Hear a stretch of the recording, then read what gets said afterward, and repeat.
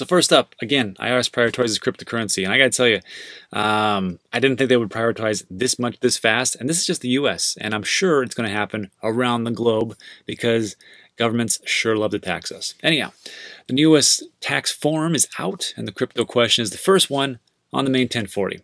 Question reads, and this is, and I answer this question uh, for the 2019 taxes, and this was on uh, a different part of the form, but now it's like on the very front, cannot miss it, and it states, at any time during 2020, did you receive, sell, send, exchange, or otherwise acquire any financial interest in any virtual currency?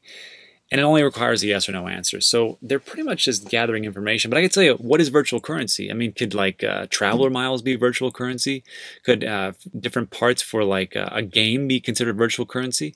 I think yeah. I mean, if you want to look at the, the lay of the law, but I am not a CPA, so I will let uh, her or, or, my lady do it. But uh, I mean, I always have to say, say yes. But I'm wondering how this is going to work out for like you know uh, young adults and things like that who have all these different, you know, what would be considered virtual currency. First of all, define what that is, and I'll, you know, and then you can answer that uh, totally truthfully. Anyhow, the IRS began including the crypto question last year, uh, but some tax experts believe the question is unconstitutional. This is from Justin Winston, uh, apparently a crypto lawyer. He said it's way too broad and should be challenged. He explained if you get paid in crypto, you must declare it as wages. If you realize gains from a crypto investment, you must declare it as a capital gain. But constitutionally, the government should not know whether you purchased, received, or acquired crypto because crypto is not just money. Public coins like Bitcoin require native currency to access this network. Bitcoin is sound money, but also so much more. And he states the updated IRS form doesn't ask you to list your crypto holdings yet, but to declare if you received or sold crypto within the year, no matter the reason. This information is beyond the purview of information the IRS needs to be. It's do its job. But I got to tell you, on my form in 2019, uh, the different form, this was from the additional income and adjustments.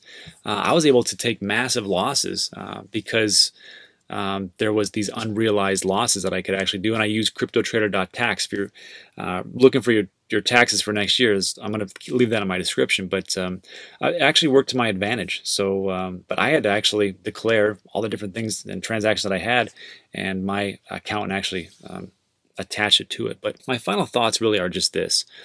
IRS does what it wants, and we can challenge it all day long, but until it actually gets challenged in the courts and go through the system, you're still going to have to answer yes, and you're still going to have to talk about it. And again, if you've done a KYC or AML and you've transferred money into cryptocurrency, trust me, your government knows. That's just uh, how it works, unfortunately. All right, so we have that, and that's going to lead us into our question of the day, which is going to talk a lot about uh, cashing out and where to store things and stablecoins. So let's jump in the office.